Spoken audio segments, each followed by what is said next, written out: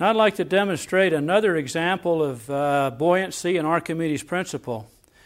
Here I have a bottle full of water. It's capped off at the top, so when I squeeze on it, I can change the pressure in that bottle.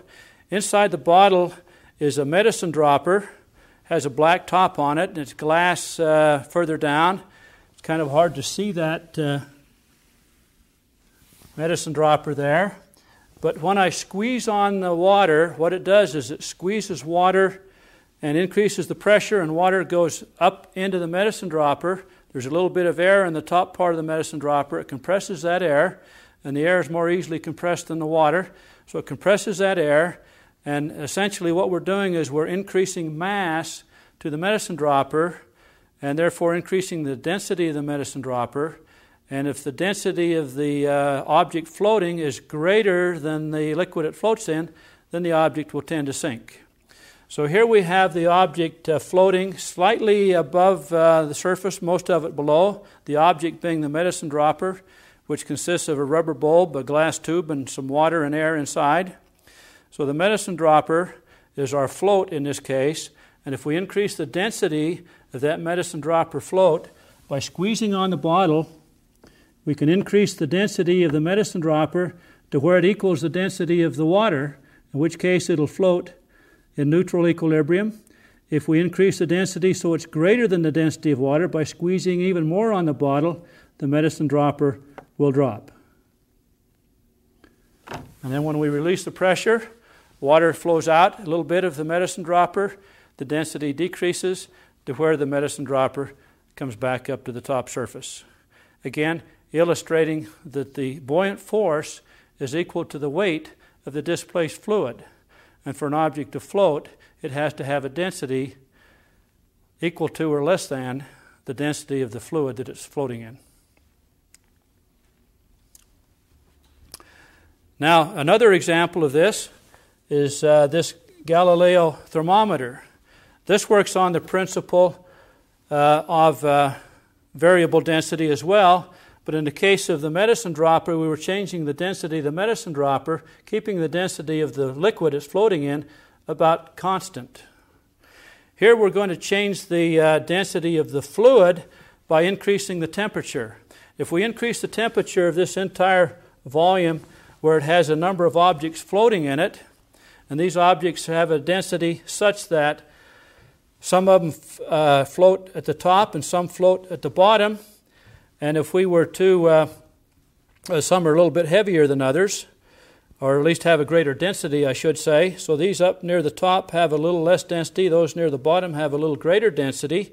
And I'm going to assume that when the temperature of this entire thing changes, that the density of each of these floaters here remains constant, but the density of the liquid that they float in is going to change. So if we increase the temperature of this, then those objects that are floating near the top will find themselves in a fluid with less density as the temperature goes up. The water, as we heat up the water, which we'll do in just a minute, the water will heat up and the density of the water will decrease, and that will allow the objects to drop to the bottom. And on the bottom of each, there's a little tag that indicates what the temperature is at which it drops. The one next one ready to go is 75 degrees Fahrenheit.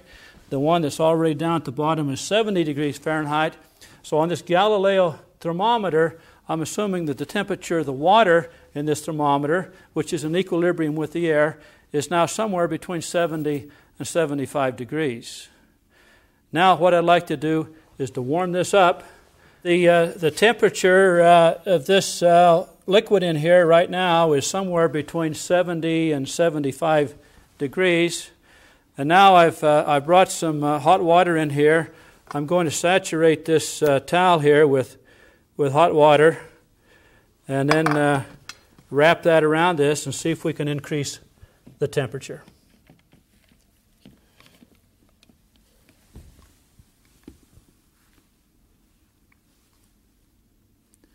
So, as we increase the temperature, the density of the fluid in which these objects are floating, the density will decrease, and those objects that are at the top, if they're on the verge of sinking, will then start to sink.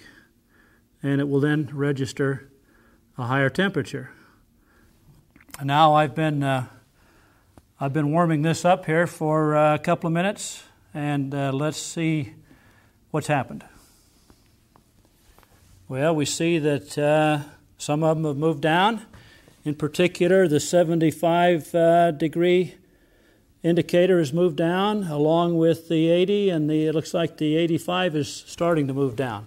So we see if we increase the temperature, reduce the density of the fluid, the objects will drop further down and uh, this is called a Galileo thermometer, and uh, it gives an indication of the temperature. Works on the principle of buoyancy, where in this case we're changing the density of the fluid. Over here, we're changing the density of the object that's floating.